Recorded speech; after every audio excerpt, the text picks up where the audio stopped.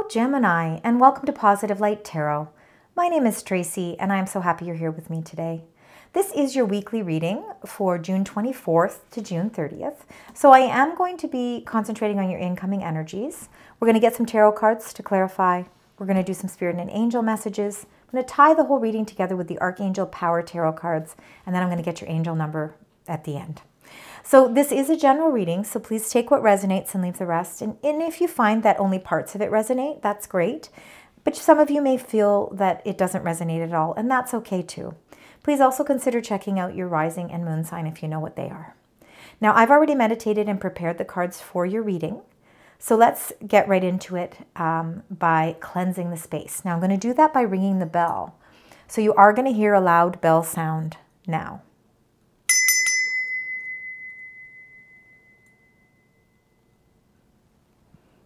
Okay, Gemini, let's get right into your energies. Let's find out what they are as we move through June 24th to June 30th. Spirit angels guides. For the beautiful sign Gemini, what are the what are the messages you would like to share? Anything else you'd like to share? There we go. All right, nice energies. Let's go with the bottom of the deck. So these are the energies that we're kind of, you know, we're passing through or that you're, they're, they're still are part of what's happening in your life right now, but they could be things you've just gone through. So it looks as if, you know, again, you were feeling a lot of inspiration. There was a lot of inspiration um, you're feeling a lot of inspiration towards your independence and what it is you want. You're working out things for your long term financial success here with number 42, the woman holding a coin. Again, it's all about your independence. It's all about really, again, um, you're very practical. You're practical with your money. You um, you want to plan for your future, and you know you're going to do what it the means are necessary to really be able to put some of those resources away, so that you have more in the long term. And you're feeling as if this plan or strategy that you're making is very successful with this with the number 28 victory. You're feeling a sense of accomplishment here. Now, envy number 20 I like to call this more of an inspirational card because I believe that what you've been doing is kind of either looking at situations from a outside, you know, an outside perspective. Maybe you're looking at people, you're looking at, um, you know, things that you know you really are inspired to bring into your own light into bring in, into your own life. And i believe this inspiration is which is really helping you to plan for your long term um, your long term goals in future here. But you're feeling a sense of great success here now, your energies that are moving into for the week, number 44, woman holding a coin, lovely, powerful number with number 44. I believe this can be your energy, Gemini. Um, even though heart would be more of a cup uh, in, in tarot cards, which would be your watery sign. So Pisces, Scorpio, uh, or Cancer. Now we are moving into Cancer season as well. Actually, we are in Cancer season.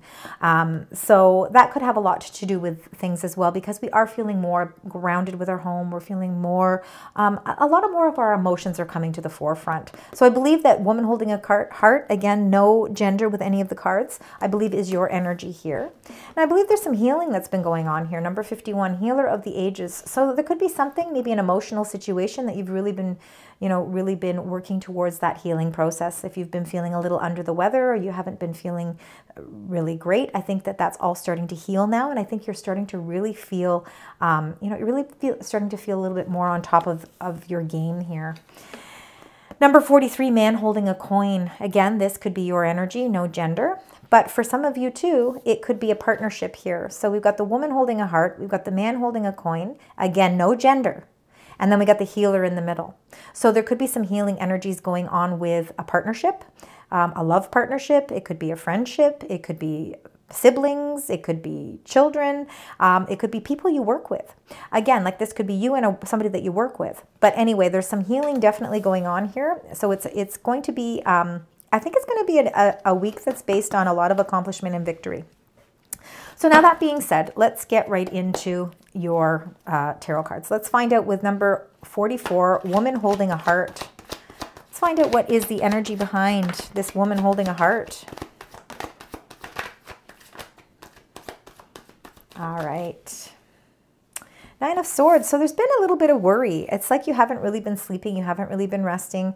You haven't been getting the rest that you need because there's been this sort of unnecessary worry. Um, when you look at this illustration, of course, you can see that this woman is floating up uh, up above her bed, her mattress, and there's all these swords that are, of course, poking through the mattress to show, you know, maybe your dreams are really intense right now. There's a lot of thought process going on at nighttime, which is not allowing you to shut things off. And what this is doing is it's causing the unnecessary worry because these swords are not actually touching you. We always tend to at nighttime, it's like when our deepest fears come into play, and that's why we don't, you know, we, we don't always get a good sleep. And at nighttime is not when you're going to be able to solve these problems anywhere anyway. So it, it, it you know, it really is that quote unquote unnecessary worry. I think it's something that you can release yourself from. And I think that comes with healing. So I think it's affecting you emotionally because you're not getting the sleep that you want. Now, number six, the Six of Cups. This is all about somebody from your past, or it's it's bringing out that inner child. It's thinking about um, you know, the past where things, you know, maybe things were really happy and things were really jovial and, and great. And it could even be somebody from your past that's re entering here and maybe it's causing a little bit of worry. Um, let's get one more card on that just so that we can get a little bit more clarification. With the Nine of Swords and that Six of Cups, why do we have these two? Oh, and there's Six of Wands. Wow, look at all the sixes coming up for you.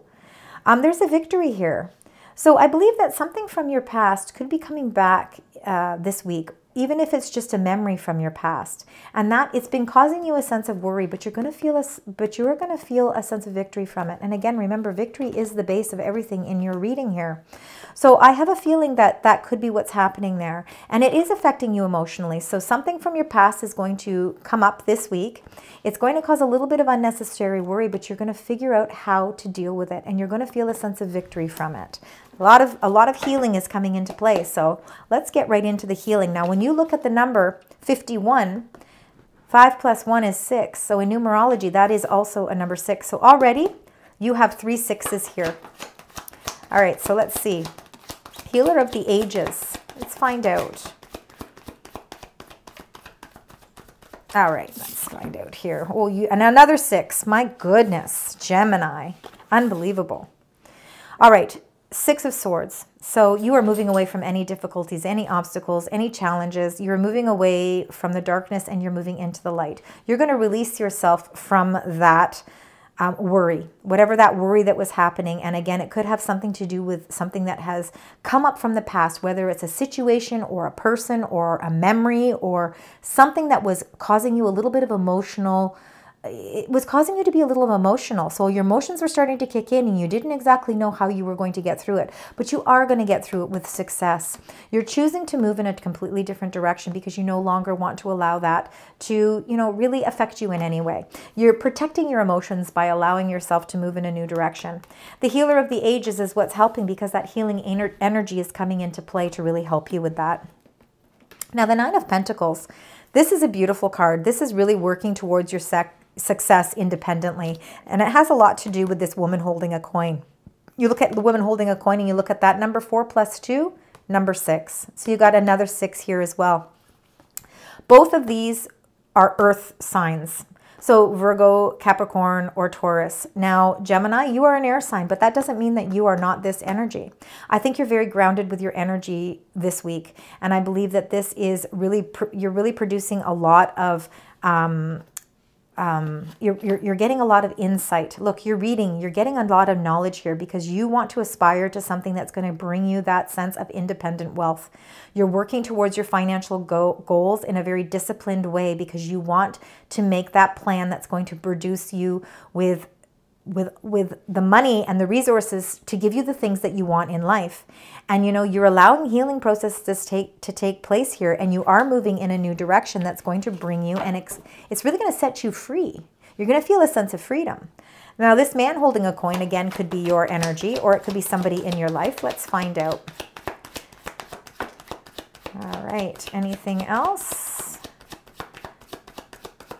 Now for some of you you could be um, Okay, let's see here. This, this is definitely very much a Gemini card, the Eight of Swords. it, it even represents represents Gemini. So I'm actually going to read it first. Um, with the energy of the man holding a coin, again, this is working for your long. This this is you really thinking about long term, your long term of prosperity, your long term income, uh, the plans and the things that you need as you move forward to bring all of that success into your life. You are feeling a little bit tied down right now, and it's interesting because you have two cards here where you're holding on tightly to something. Now, one is a Four of Pentacles and the other one is the Eight of Swords. The Eight of Swords is all the mental suit. It's all what you are thinking in your head. You're not actually bound in any way and the swords are not touching you in any way, just as they aren't touching you with that Nine of Swords. But for some reason, you're seeing yourself as somewhat tied up. And you need to figure out what it is you need to do to release yourself from that. Because again, this is not actually happening to you. It's just your thought process. And I believe that, you know, you um, I think you have the I think you have the ability to really create a very independent success for yourself, but I think that you're holding on to something so tightly and it's not allowing you to feel free. Four of Pentacles again is holding on tightly so much to something that it's not again allowing you to really explore or adventure into something new. And and sometimes that's just that fear of the unknown. It's the fear of not really, you know, knowing what the outcome is going to be, but you can't don't hold yourself back from opportunities because you're afraid, because you know you really are ready to embark on a new journey here and you really want to create this sense of independence. But the only way you're going to do that is by um, allowing your mind to be set free and allow yourself to, um, you know, unleash those, unleash, unleash the chains, unleash the rope that's holding loosely around your wrists because again it's something that's more in your mind than it is actually happening.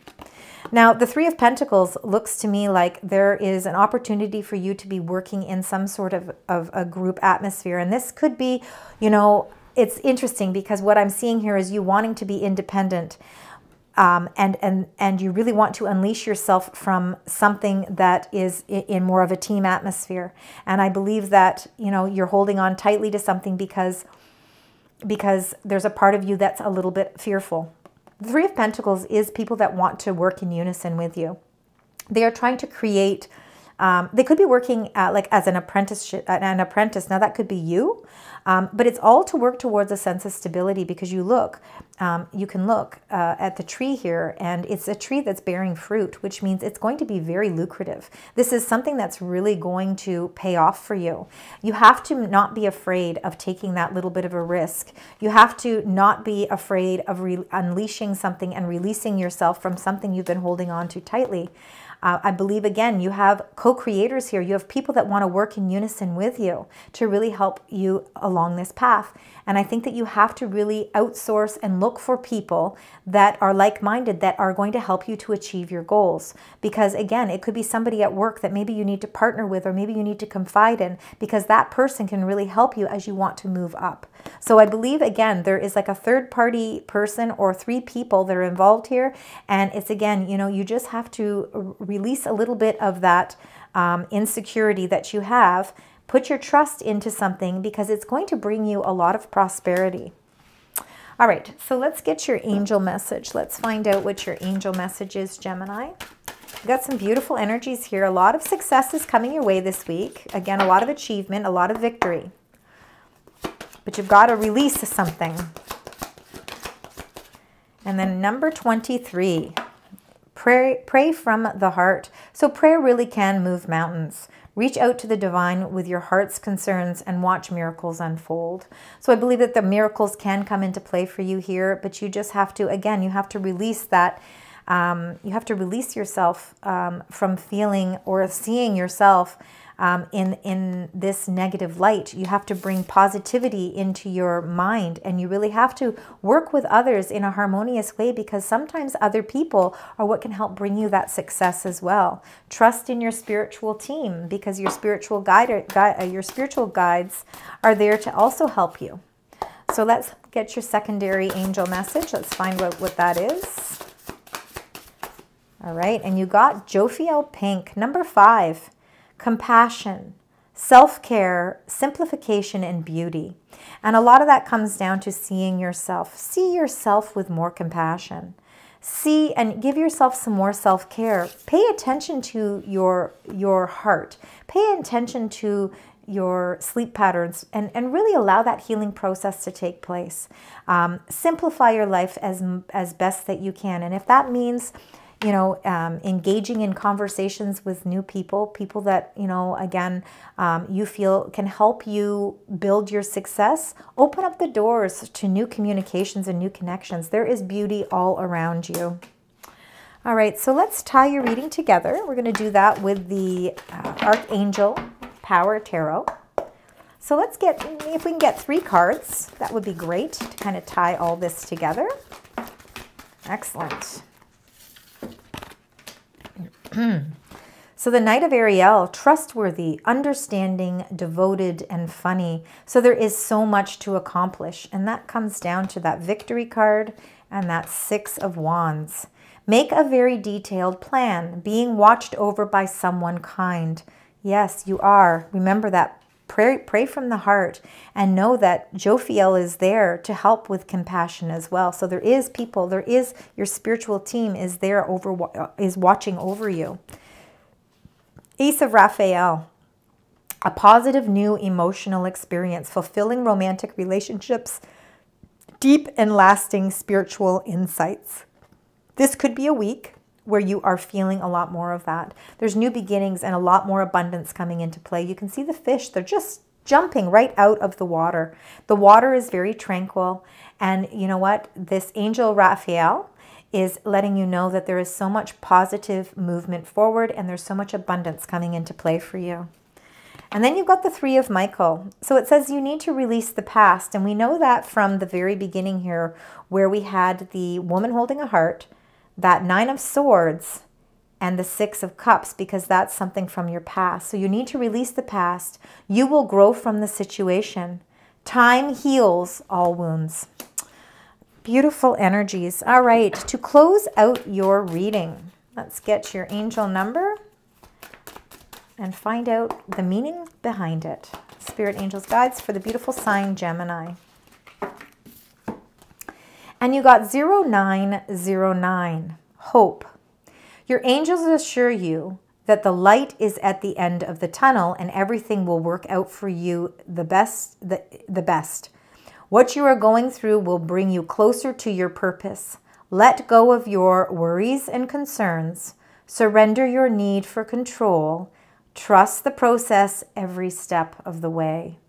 So any combinations of 0909, of course, are going to be your angel numbers, as well as number six, because you did have a lot of sixes and you did have some nines as well. So those are very, very powerful numbers as we move through that final week of June.